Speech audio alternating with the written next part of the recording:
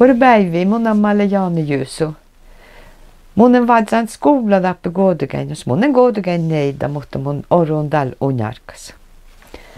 Ofsen blotju di tjejologi njällis algi mun oftsaluhkai. Ja dalle vulkimme mi oftsaluhka tuuri, ja me hoapahedjin ingen Ranumain. Ja ingen Ranum tjali mannil, dan birra skolasagan. Mai mun ingal muiste.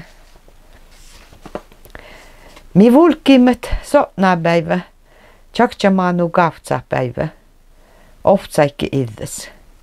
Vuostaspäivä vaatsimet karkulobbolis sjösjaurai. Ja kun olimme sjösjaurai, teille ingen ranum tjallan dan birra den bladis.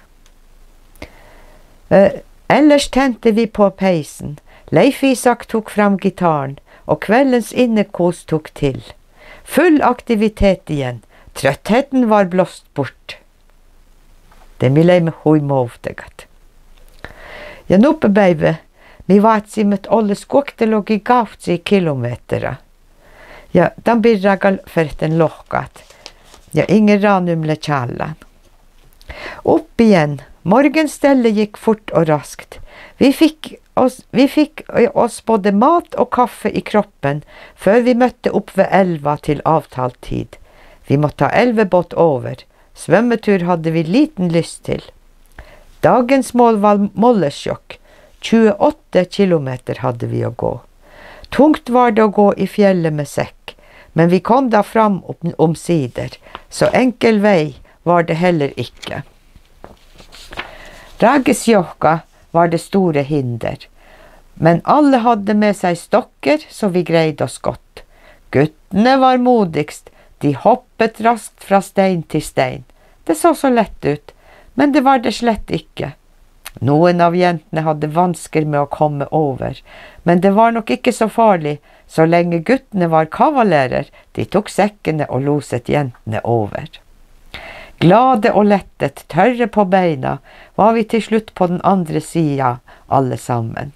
Da var det godt med matpause. Tross småregn ble det bål, og vi hadde en lang rask rast. Så, på'n igjen. Enkelte fugler så vi på veien. Ellers var det lite liv å se. Vi gikk og gikk. Hastigheten sank etter hvert. Hvor langt er det igjen? Spørsmålet ble stilt fem ganger hvert kvarter de tre siste timene før vi var fremme. Sistemann fant de første igjen etter et par timers gange. Da satt de blide og fornøyd og så på hus. Alle trodde det var fjellstua. Fjesene ble lange, beina tunge, da jeg fortalte at det var Nedre Mollesjokk. Fjellstua var fem kilometer lenger borte.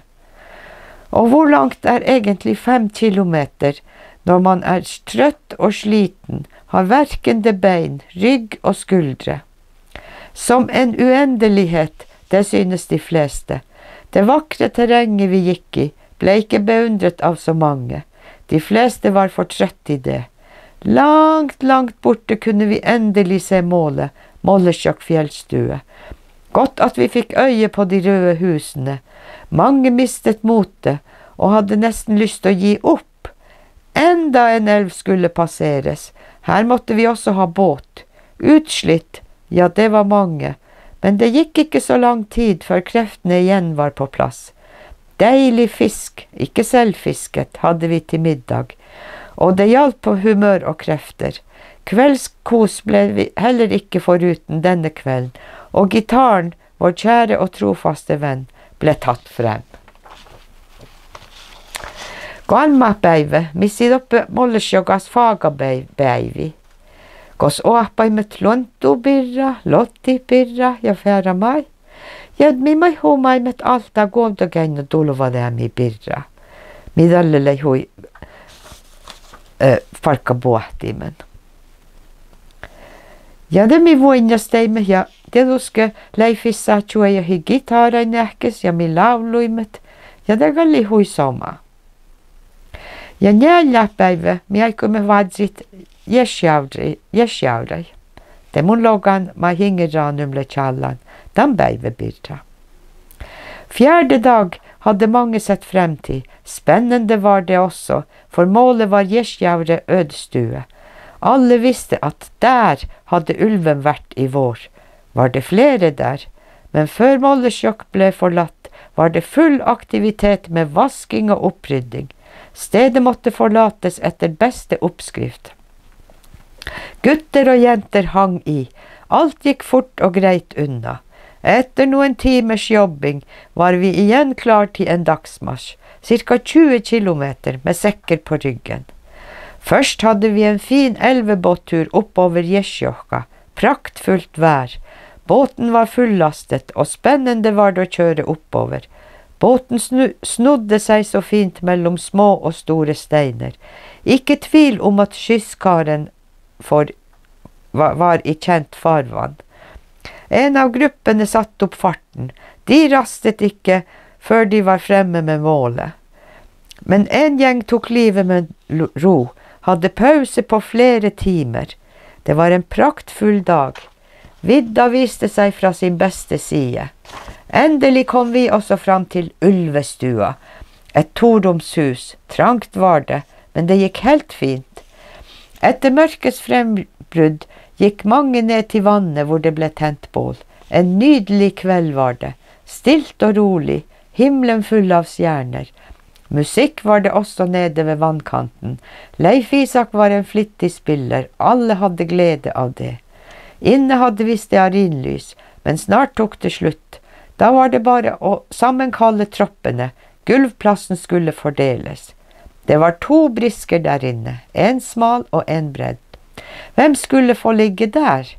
Anne Kirsten, hun hadde gnagsår, fikk den smale, og de to andre plassene ble det trukket lodd om. Både Jane og Aina var svært så blid etter den trekningen. Vi andre fordelte oss rundt på gulvet. Guttene fikk det ytterste rommet. Trangt var det, men søvn kom fort for det. Guttene skulle skremme oss om kvelden, men så forferdelig vellykket ble det jo ikke. Vi var ikke redde av oss. Så redde hyl og gråt fikk ikke guttene høre. Muligens trodde, vi at, trodde de at vi ble så redde at vi ble stumme. Snart fant de ut at det slett ikke var moro å skremme oss, og da falt de også på det ytterste, ytterste rommet til ro. Ulv så vi ikke, heller ikke ulvespor. Elg og reinspor var det, det, det var det vi så. Ja mannemuspäivä vaatsimme jatkas stillai, kos pysselei vuoredimen ja dolvuimin roftuluotta goudagäinnoi. Tällä herrat mas finna matki mun.